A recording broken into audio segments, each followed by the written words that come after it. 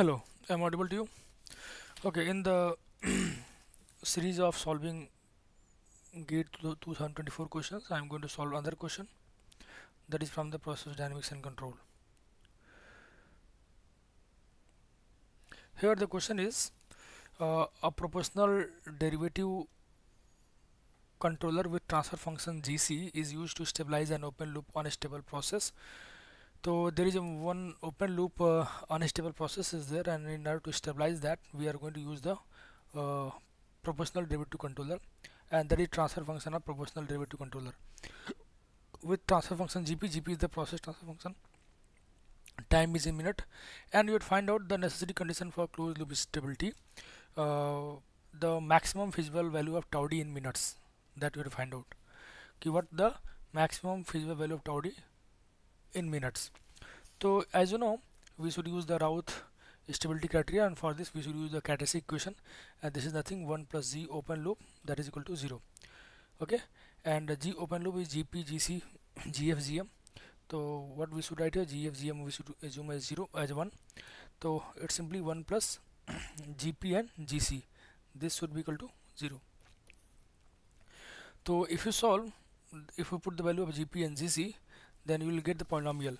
And the polynomial is 1 plus its kc tau d s plus 1 upon tau d by 20 s plus 1 uh, into 1 upon s minus 1 into 10 s plus 1 this is equal to 0 if you solve this polynomial then uh, uh, if you check that you will get the following equation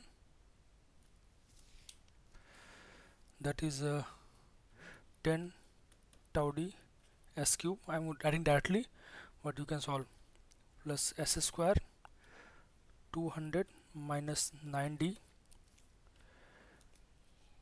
plus s. Coefficient of s is uh, 20 kc tau d minus tau d minus 190 plus 20 kc that is equal to 0 this is the polynomial.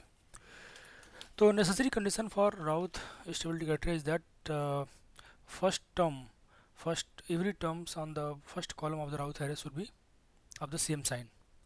Okay? And uh, and and also it should not be it should be uh, non-zero.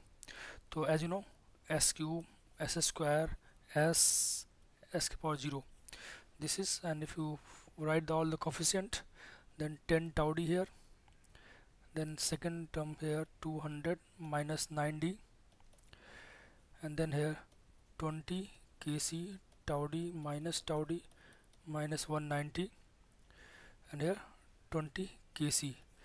Now in this case as you know key, uh, these all terms should be positive because tau d should be obviously the positive derivative it cannot be negative then that term is positive.